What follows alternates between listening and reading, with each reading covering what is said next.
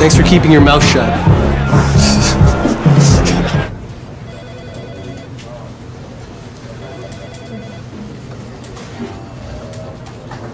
Thanks for minding your own business. Come on, show me the good ones. Thanks for not telling my girlfriend. Send that to me. Hi. Thanks for not telling anyone. When you do nothing, you're helping him. But when you do something, you help her. Thanks for telling the bartender. Thanks for stopping him. Thanks for telling HR. Thanks for getting help. Who will you help? Stop sexual harassment and violence when you see it.